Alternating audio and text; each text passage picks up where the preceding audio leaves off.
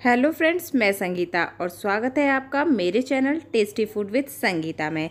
आज मैं आपके साथ दही और लौकी के ये बहुत ही टेस्टी, डिलीशियस पराठे की रेसिपी शेयर करने जा रही हूँ। तो चलिए फिर स्टार्ट करते हैं ये पराठे बनाना। तो ये पराठे बनाने के लिए मैंने यहाँ पर एक लौकी ली है। ये मैंने छोटी लौकी ली है, ज़्यादा बड़े साइज़ की लौकी नहीं ली है। लौकी को अच्छी तरीके से धो लेना है और धोने के बाद इसे आपको छील लेना है।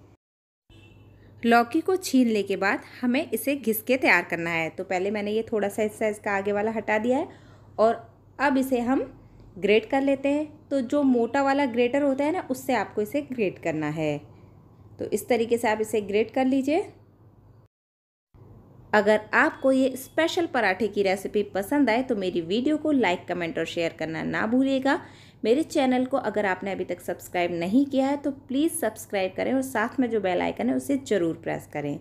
अब यहाँ पर ये लौकी को मैंने घिस के तैयार कर लिया है? अब इस लौकी को हमें निचोड़ लेना है। इसमें जो भी पानी है ना, वो हमें सारा हटा देना है। और निचोड़ निचोड़ कर इस लौकी को अलग आपको एक कटोरी में रखते जाना है। हमने यहाँ पर ये लौकी मोटे वाले ग्रेटर से घिसके तैयार की है, इसलिए इसमें कम पानी निकल रहा है। अगर आप इसे बारीक वाले ग्रेटर से घिसते तो इसमें पानी थोड़ा ज़्यादा निकलता। इसमें से जो पानी निकलेगा ना, उसे भी हम फेंकेंगे नहीं, उसे आटा लगाने में हम यूज़ कर लेंगे, क्योंकि जो लौकी के न्यूट्रिएंट्स हैं, वो इस पानी में है, पानी बहुत ही हेल्दी है ये तो इसको फेंकिएगा नहीं। अब ये सारी लौकी निचोड़ के मैंने तैयार कर ली है।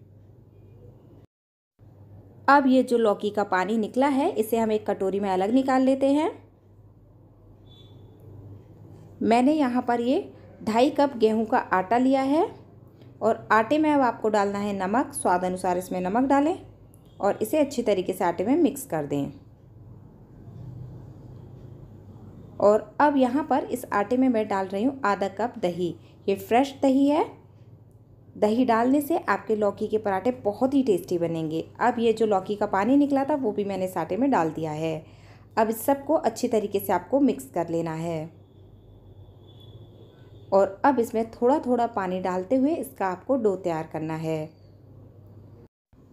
अगर आपके बच्चे लौकी खाना पसंद नहीं करते हैं तो आप इस तरह के लौकी के पराठे बनाकर भी उनको खिला सकते हैं। ये पराठे बच्चे बेहद पसंद करेंगे। अब यहाँ पर इस आटे को आपको अच्छी तरीके से चिकना कर लेना है, अच्छी तरह गूंदना है इसे। पराठे के लिए आटा ज़्यादा सॉफ्ट नहीं लगाया जाता। जैसा हम रोटी के लिए आटा लगाते हैं, उससे थोड़ा सा हार्ड आटा हमें लगाना होता है। अब ये डो मैंने लगा लिया है तो इस पर थोड़ा सा हम घी लगा देते हैं और इसे 10 मिनट के लिए कवर करके रख देते हैं और 10 मिनट बाद हम इससे पराठे तैयार करेंगे। तो तब तक हम स्टफिंग बना लेते हैं। स्टफिंग बनाने के लिए जो लौकी हमने घिस के निचोड़ के तैयार की थी, वो मैंने एक बर्तन में डाल दी है और साथ में मैंने यहाँ पर लिए हैं ये तीन मीडियम साइज़ के आलू, जिनको बॉईल करके छील के मैंने मैश कर लिया है, वो इसमें डाल दिए हैं। और अब हम इसमें डाल रहे हैं एक इंच का अदरक का टुकड़ा, जिसे घिस लिया है। एक बारीक कटी हुई हरी मिर्च, एक चम्मच कसूरी मेथी बारीक कटा हुआ हरा धनिया, आधा चम्मच लाल मिर्च पाउडर,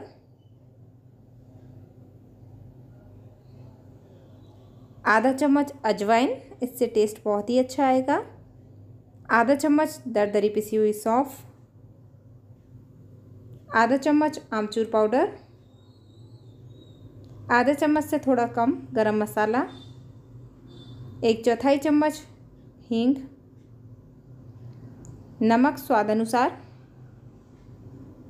अब इस सबको अच्छी तरीके से आपको मिक्स कर लेना है। इसमें आलू डालने से लौकी को अच्छी बाइंडिंग भी मिलेगी और पराठे और भी ज़्यादा टेस्टी हो जाएँगे। अब सभी चीज़ों को मैंने बहुत ही अच्छी तरीके से यहाँ पर मिक्स कर लिया है। तो अब ये हमारी जो स्टफिंग है, वो बन के तैयार हो गई है। अब जो आटा है, उसने भी रेस्ट कर लिया है, ये अच्छी तरीके से सेट हो गया है। तो एक बार और इसे गूंदते हुए हम चिकना कर लेते हैं। और अब इस आटे से हम पराठे के लिए लोई बनाकर तैयार करेंगे।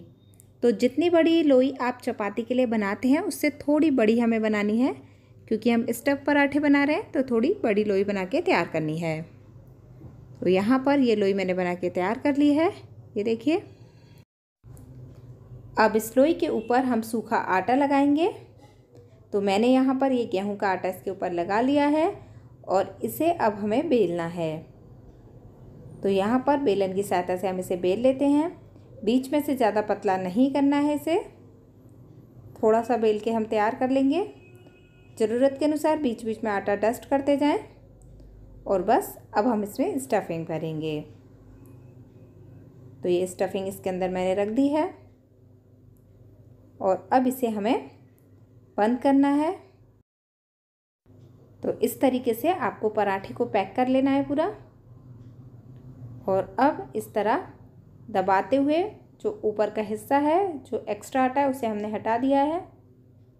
और ये पराठा तैयार हो गया है। पहले बीच में से दबाएँ और फिर सभी तरफ़ से हमें दबाना है थोड़ा थोड़ा अब इस आटे में, सूखे आटे में इसे हमें अच्छी तरीके से लगा लेना है। और पहले बीच में से दबाना है, फिर सभी साइड से इस तरह इसको दबाना है। और अब ये आप देख सकते हैं कि मैंने काफ़ी बड़ा कर लिया इसे इसे आटे में। और अब ये जो एक्स्ट्रा आटा है वो मैंने हटा दिया है और इसे बेल के हम तैयार कर लेते हैं। स्टफ़ पराठे बेलने के लिए एक तरफ़ से बेलन को आपको ऊपर ले जाना है और दूसरी तरफ़ से नीचे की तरफ़ लाना है। इससे पराठे फटते नहीं हैं, पराठे बहुत ही अच्छे बिल के तैयार होते हैं और सभी तरफ़ से एक जैसे पराठे बिल के तैयार होते हैं। अब यहाँ पर पराठे को मैंने बेल लिया है। सभी तरफ़ से एक जैसा बेला है कहीं से मोटा, कहीं से पतला, इसे हमें नहीं करना है। ये पराठा हमारा बिल के तैयार हो गया है। तो अब हम इसे सेक लेते हैं। तवे को मैंने पहले ही गर्म करने रख दिया था, अब इस पर पराठा डाल दिया है। गैस का फ्लेम मैंने यहाँ मीडियम किया है। जब पराठा एक तरफ़ से हल्का सिक जाए तो इसे पलट दें। ये देखिए, पराठा हल्का हल्का सिक गया है। और अब दूसरी तरफ़ से भी इसे सिकने दें। और अब फिर से मैंने इसे पलट दिया और इसके ऊपर अब हमें लगाना है घी। आप घी या ऑयल जो भी पसंद करते हैं, वो इसके ऊपर लगा सकते हैं। अब दूसरी तरफ़ से भी हम इसे पलट देंगे और इसके ऊपर भी हम घी लगाएँगे। जब आप इस तरीके से पराठा बनाएँगे तो पराठा बहुत ही अच्छा फूला फूला बन के तैयार होगा। अब ये आप देख सकते हैं कि हमारा पराठा फूल रहा है, बहुत ही अच्छी तरीके से फूल के तैयार हो गया है। अब इसे दोनों तरफ़ से हमें पलट पलट कर अच्छी तरीके से सेक कर तैयार करना है।